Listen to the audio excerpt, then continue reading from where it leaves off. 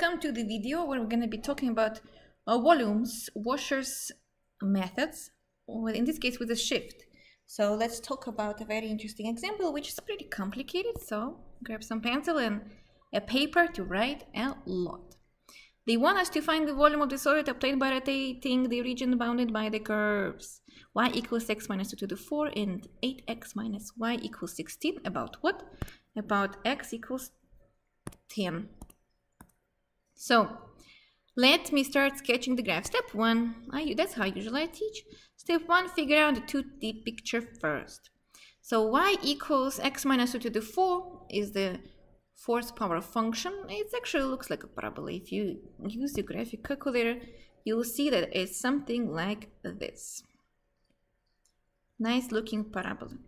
If you plug x equals 2, y will give you zeros. That's the point over here, 2, 0. Now, uh, y equals 8x minus 16 is a line. You can figure out the points to draw this line. And if you plug 2, you'll get 0 as well. So now you can see they will intersect like so. Here it is. Now I see the area. Here's my 2D area, which we will be rotating. Second step, figure out the 3D picture. So that's the most important here to figure out what we are rotating about y uh, x equals 10 x equals 10 is somewhere say over here. That is my x equals 10 uh, vertical line.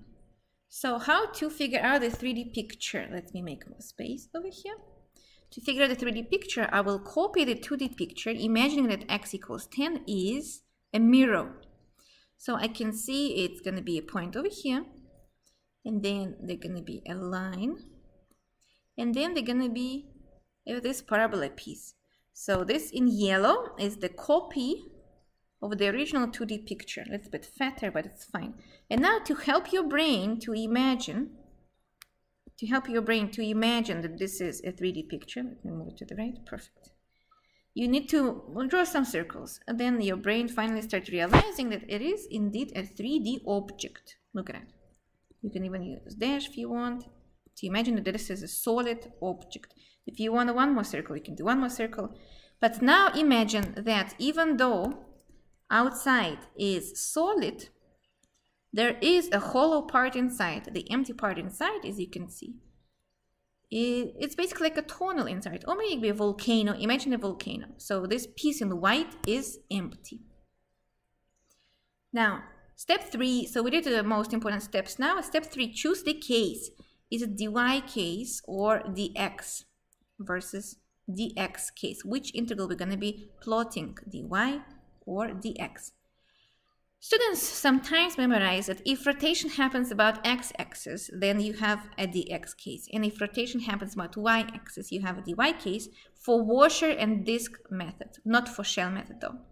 But we are rotating about x equals 10. Then ask yourself, x equals 10 parallel to which axis?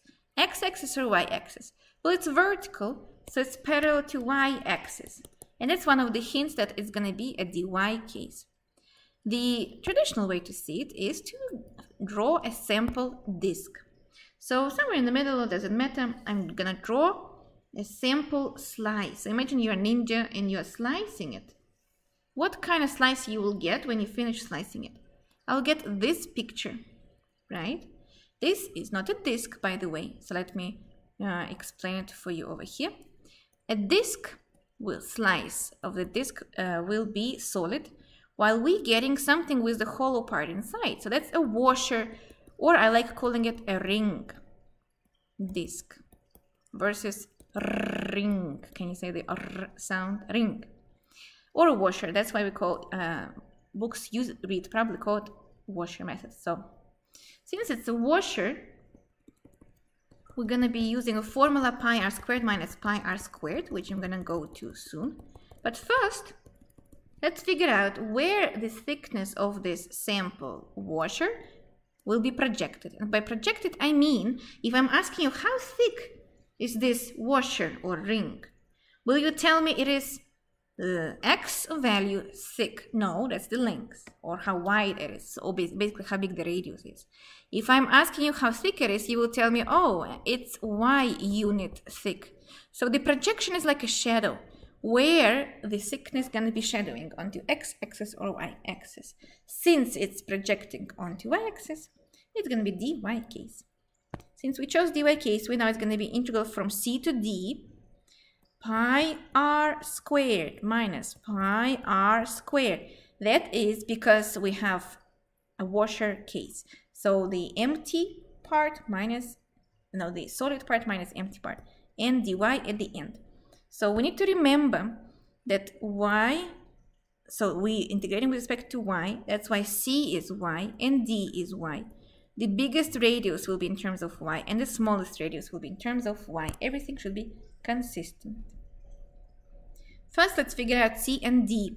C and D is the height of your object on the vertical scale. Well, I can see that my object, 3D object, starts at 0, but where does it end? It ends somewhere over here, and what this height is. To find this height, I need to find this point of intersection.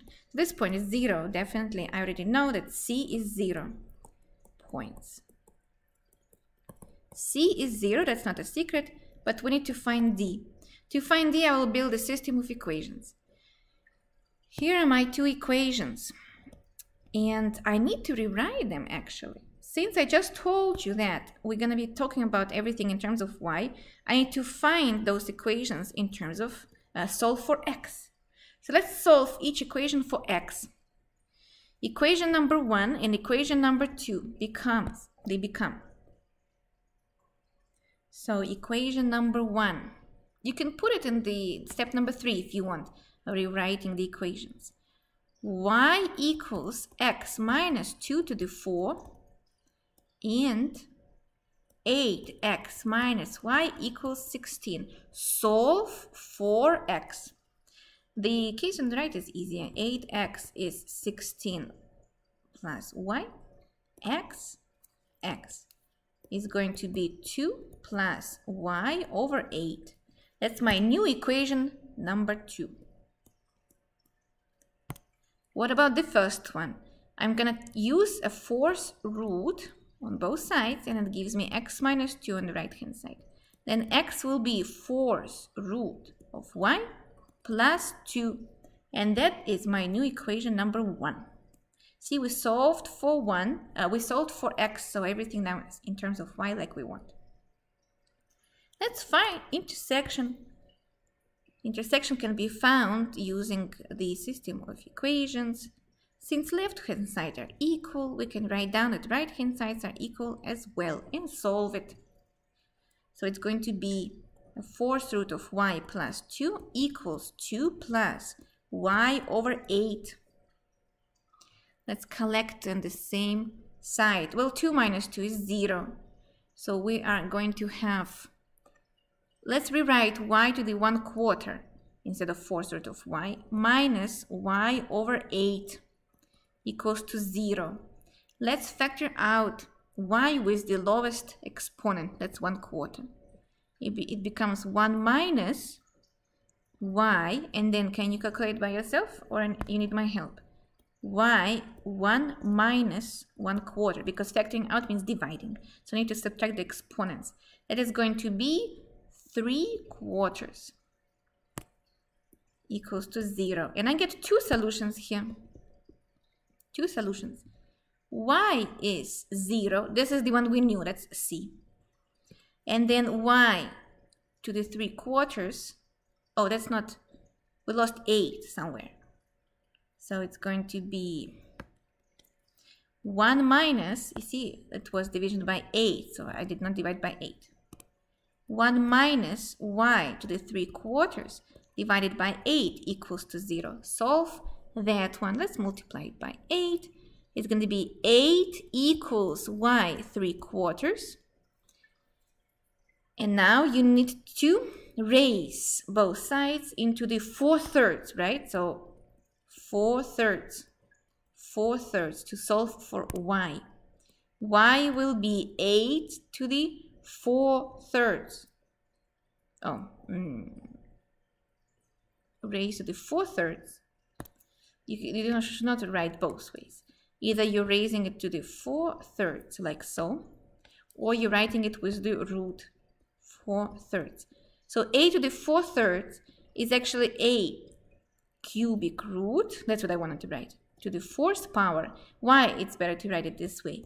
Because 8 cubic root is 2, right? So it's just 2 to the 4. And 2 to the 4 is 16. We found D. So A, not A, C. C is 0, D is 16, and we can finally start building the integral. That's going to be step number 5. Step number 5, we're building the integral. I can factor out pi outside, and it's going to be from 0 to 16. Now, we're going to have pi r squared minus pi r squared, but pi was factored out.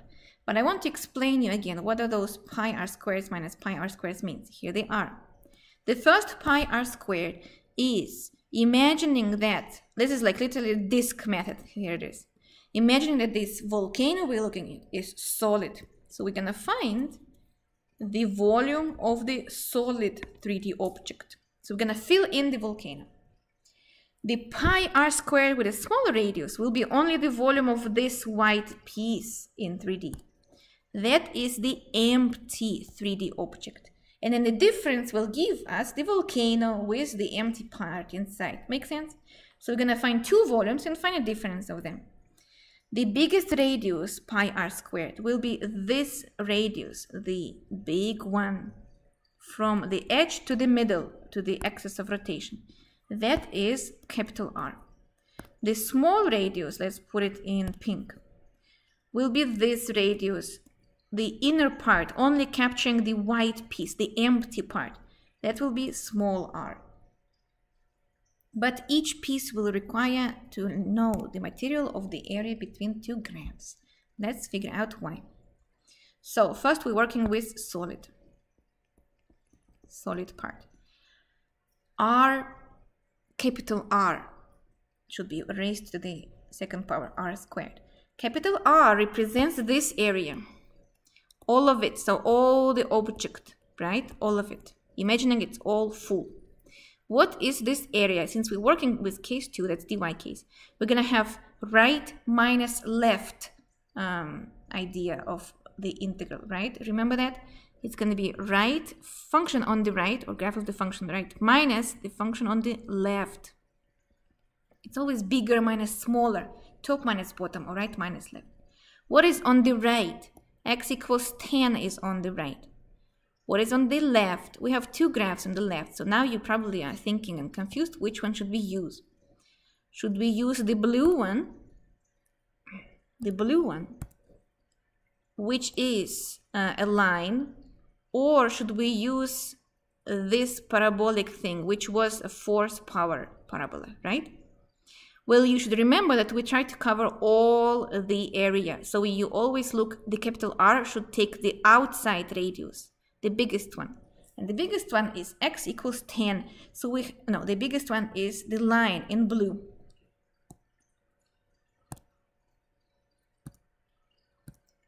Stop moving.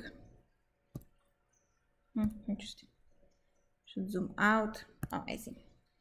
So we will take x equals 10, that's the function on the right, minus this line. What this line is? This line is y equals 8x minus 16, but we should remember that we rewrote it, that's uh, line number 2, as 2 plus 8 over x. So 10, that was the line on the right, minus, open parentheses, 2 plus y over 8. Does it make sense? The one on the right minus the one on the left, and that's solid part. So everything is filled in. Now let's do the empty one. Can you do the empty one by yourself? Let's see. Find this middle of the rotation, that's the axis of rotation. Shoot the laser, that's my small radius, and stop when you hit the middle piece. Stop when you hit the middle piece. Because we want to find the volume of only the empty part, the one in white color right now. Where does it stop? So this is the area, this is how it looks like in pink, this, and this, and this, and this, and this, and this, and this. Only the empty part. Which functions in function is on the right? Still x equals 10, but function on the left now is this one in green color. That's the part of the parabola, uh, the, the fourth power, power parabola, which we solved for x. That was equation number one. Here it is. So it's going to be 10 minus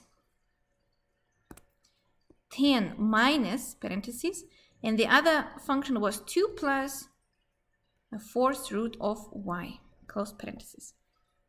And this is my integral pi r squared minus pi r squared solid minus empty. Each radius, each radius was a function of y. First we had big radius, that's the one that fulfilled the whole volcano. It was completely solid. The other one is a small radius. That's the one that represents the empty part of the volcano. Subtracting it, you find a difference. That's a pretty cool idea. Uh, maybe you can stop the video because after this, basically algebra comes. But if you want, I can help you to solve this integral. First, I would simplify everything inside. That's going to be two, 10 minus 2, that's 8 minus y over 8 squared minus 2 minus 10 minus 2 again that's 8 minus a fourth root of y squared brackets dy. How you integrate that? You will use the square of difference formula from 0 to 16. 8 times 8 is 64 minus 8 times 1 over 8, that's 1. It's going to be 2y because double product plus y squared over 64 minus open parentheses 64 minus 2 times 8, 16, a fourth root of y plus, when you're squaring the fourth root of y, it just becomes square root. Brackets dy, so I will have brackets outside. Something cancels out, 64 minus 64, nothing else cancels out, so you can start integrating using power rule. Pi is outside, no integral sign anymore. Minus 2y squared over 2, so this 2 will cancel out, that's nice. Then um, plus y cubed over 3 times 64 minus, don't forget to change the signs, minus minus gives you plus, 16, how to integrate this function. That's y to the 1 quarter, and this one is y to the 1 half. y to the 1 quarter, 1 over 4 plus 4 over 4 is 5 over 4, power rule dividing by 5 over 4. Finally, 1 half gives you 3 halves, dividing by 3 halves. Instead of plus c, I'll put huge brackets. Remember, we're multiplying by pi outside. A bar from 0 to 16. Carefully plug in the numbers, and I prepared the exact answer over here for you. The exact answer multiplied by pi and the approximate answer multiplied by pi and you also can figure out that your pi is 3.1459 approximately multiply by that and you'll get 350 approximately units cubed because it's a volume of the object we created from rotating the bounded area which we created in 2D but we rotated about axis x equals 10 and that's how the 3D object was created. Hopefully you did not get lost. If you did, let me know. And uh, see you in my next video when I'm going to be showing more examples like this. Good job for watching.